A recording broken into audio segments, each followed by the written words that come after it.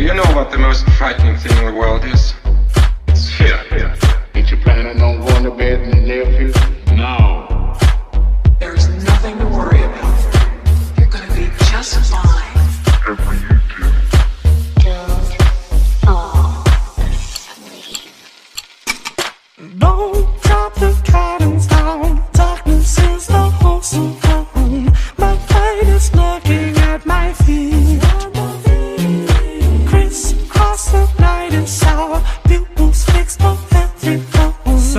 since the